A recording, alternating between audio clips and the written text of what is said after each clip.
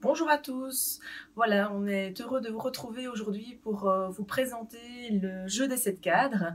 Le jeu des sept cadres qui est en fait euh, sept cadres, comme le nom l'indique, qui se retrouve en fait sur euh, les brodeuses professionnelles, donc sur la PR 1055, la toute nouvelle PR, mais aussi sur les PR 1050, 1000. on va aussi les retrouver sur la PR 670 et on peut les retrouver également, ce jeu des sept cadres, sur la browser VR. Euh, qui est, que vous voyez juste ici, à l'écran.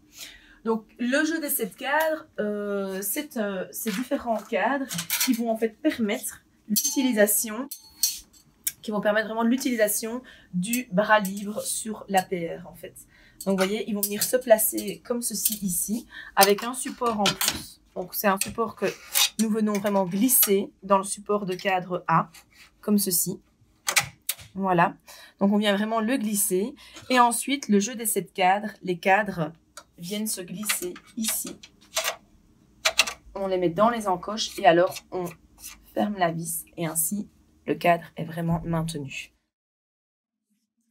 Alors pour l'utilisation, donc comment venir placer donc son, support, donc son sur le jeu des sept cadres, on va donc travailler qu'avec exclusivement du filmoplast comme on vous a déjà présenté, hein, le stabilisateur, le filmoplast, parce que c'est celui qui colle. Donc c'est vraiment avec ce support-là qu'on travaille. Je vais venir vous montrer ici simplement comment je le travaille. Je vais juste prendre le petit outil là, voilà. Donc je viens en fait décoller donc mon film moplast, mon film quadrillé ici. Voilà.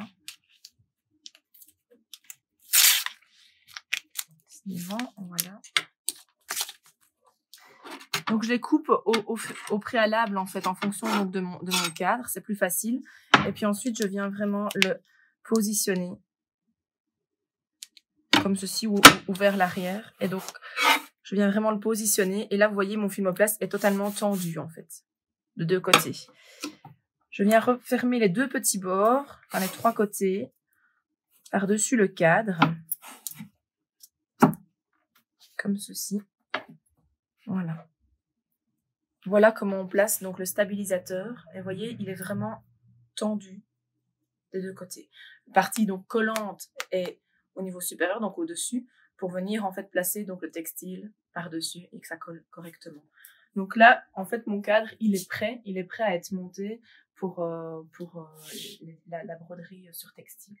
Voilà, ça c'est pour la, vraiment la, question euh, euh, du montage euh, du stabilisateur. Alors, le jeu des sept cadres, on va pouvoir les utiliser pour différentes euh, choses, pour notamment, donc, comme je l'ai expliqué, utiliser le bras libre.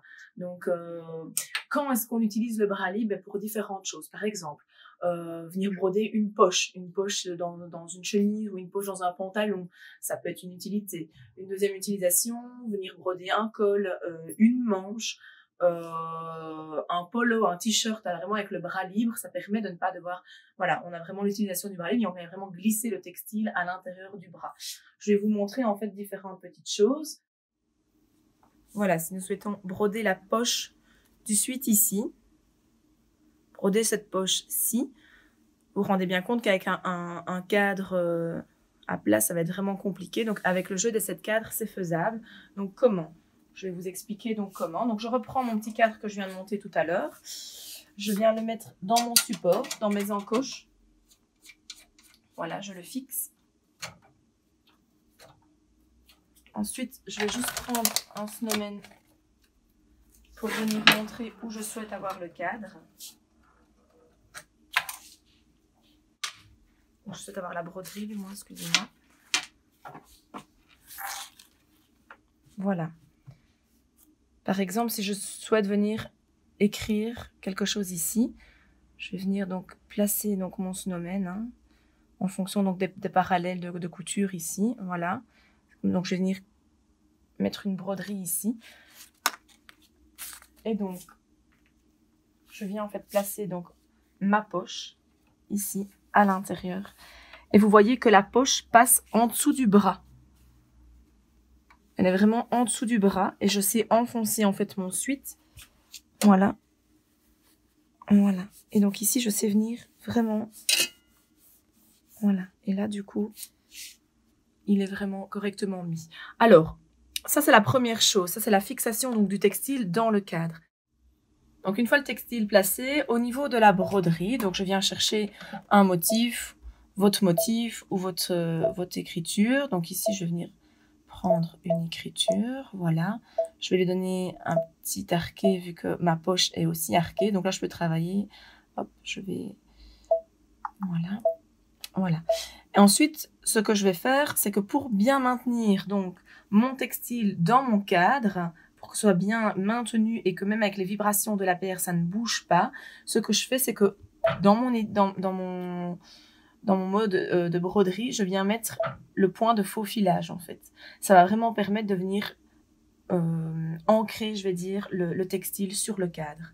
Donc c'est vraiment le point de faux fil qui est très important quand on travaille déjà en textile hors cadre et encore en plus de ça avec le, le jeu des sept cadres.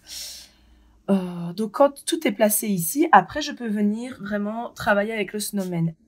À savoir, le jeu des sept cadres, donc les sept cadres n'est pas un produit euh, fait par la marque Browser.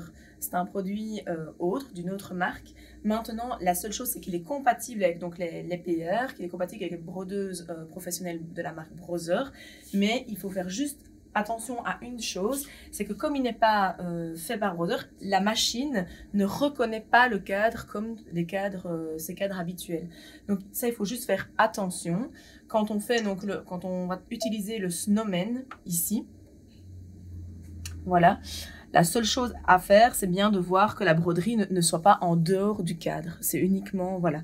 Par exemple, ici, euh, en fonction, si maintenant mon suite, ben, je viens le mettre euh, de manière euh, horizontale comme ici, ben, là, elle ne va vraiment pas passer, à moins que je, diminue vraiment la taille. Donc ça, c'est vraiment important à faire attention. Voilà. Mais autrement, elle reconnaît le snowman sur le, sur le textile et sur le jeu des sept cadres. Voilà. Donc là, vous voyez. Et elle vient donc vraiment positionner la broderie, voilà, en fonction. Voilà. Donc ça, c'est pour la poche de mon suite. Je vais revenir sur un écran neutre. Maintenant, cette technique, on peut vraiment l'utiliser pour plein d'autres choses. Euh, on va pouvoir travailler donc avec les autres cadres. Vous voyez, ici, on a quelque chose de beaucoup plus grand. Ce cadre-ci, donc de 20 sur 20, on va principalement l'utiliser pour des polos pour broder l'arrière d'un polo ou d'un t-shirt. Vraiment, donc pour quelque chose de beaucoup plus étendu, une broderie plus étendue, ben, c'est beaucoup plus facile. Je vous montre, là je vous montre juste le placement, mais vous voyez, on va, donc on vient simplement dévisser, c'est très simple hein, au niveau du, on dévisse. Je viens rajouter donc mon autre cadre ici que je clipse de la même manière.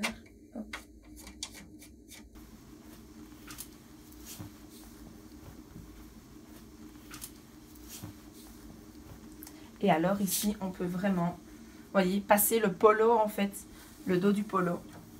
Voilà. Le jeu des sept cadres.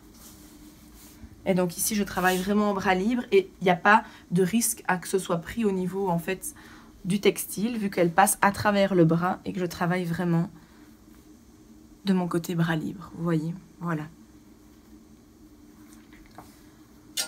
Donc ça, c'est une possibilité. Une autre possibilité avec un, avec un t-shirt ou avec un polo, c'est de venir broder la manche, qui est quand même un endroit aussi vraiment particulier. D'accord? Donc la manche d'un polo ou d'un t-shirt, c'est vraiment quelque chose de particulier, mais c'est faisable aussi avec un cadre plus petit.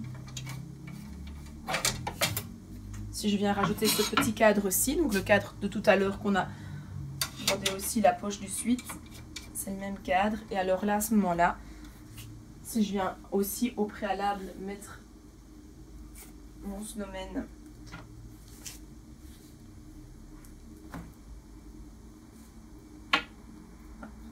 si je viens mettre mon snowman dans ma parallèle, voilà. Admettons, on voudrait venir faire une, une, petite inscription sur la manche. Donc là, je glisse également la manche. Voilà, je la glisse également dans le bras. Alors, ça tient également au niveau du filmoplast. On peut l'utiliser à plusieurs euh, reprises et voyez, ça vient vraiment bien coller. Toujours utiliser le point de faux filage pour bien maintenir la broderie. C'est très important parce que ça va bouger. Hein. Mais au moins, vous voyez, ça tient, quoi. Voilà. Vous voyez, ça, ça tient vraiment bien au niveau de, du stabilisateur. Alors, ce qu'on peut faire également, c'est de venir avec un cadre un peu plus petit, de 10 sur 10. Vous voyez, on a toujours mis le filmoplast. On pourrait par exemple vouloir venir personnaliser cette petite trousse. On a envie de personnaliser la petite trousse avec un prénom d'enfant, mais c'est tout à fait faisable. Je vous montre. Donc, je vais venir ajouter le cadre correspondant. Donc, ici, j'ai pris ce cadre-ci de 10 sur 10. Ça me permet d'avoir un plus bel étendu dans le champ de broderie. Voilà. Je reprends juste un petit snowman, c'est juste pour vous montrer le placement de la broderie. Hein. Je ne vais pas le faire euh, totalement, mais voilà, par exemple, ici, je viens vraiment placer mon snowman en fonction donc, de mes parallèles. Là, je les fais à l'œil, mais voilà. Donc, je place mon snowman pour qu'il vienne vraiment que la broderie soit mon centre. Et alors ici, je sais vraiment venir aussi passer la trousse. Vous voyez, en dessous toujours bien du bras, hein, ça c'est important. Et là, vous voyez, je viens coller. Là, il n'y a pas de raison à que ça bouge, toujours bien avec le point de faux fil. Il n'y a vraiment pas de raison. Et c'est super sympa parce qu'on peut venir même broder des trousses qui sont terminées avec le bras libre. Donc même un sac, euh, une trousse de toilette, tous des accessoires qui sont déjà terminés, on peut aussi venir les broder, les personnaliser par la suite avec le bras libre. Voilà. Euh, une chose aussi qu'on fait souvent avec le jeu des sept cadres, c'est la broderie sur gants de toilette.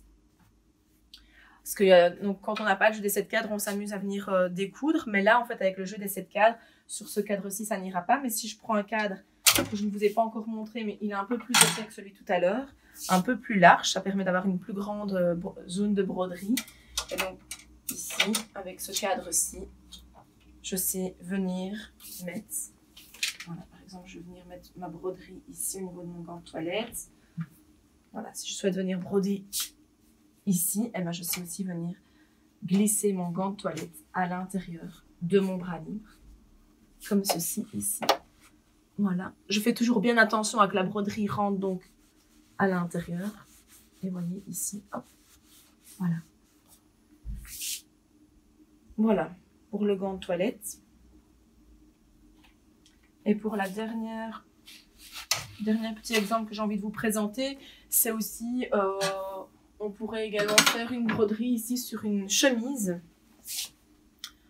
Là, on va pouvoir, par exemple, broder le col de la chemise. Donc, ça pourrait vraiment se faire.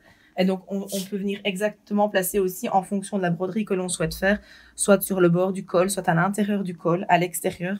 Voilà, on vient vraiment placer sa chemise comme on le souhaite. Voilà, tant qu'ensuite on, applique bien, vous voyez, ça, colle parfaitement bien.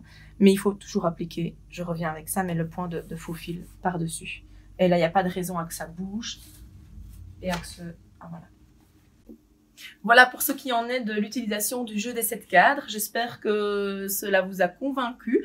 En tous les cas, je trouve que ce, jeu des sept cadres, les sept cadres sont des indispensables euh, par rapport aux brodeuses professionnelles. Dans le monde professionnel, je trouve que c'est vraiment un outil euh, primordial, dans le sens que ça permet vraiment une certaine rentabilité et efficacité dans le travail de la broderie sur textile.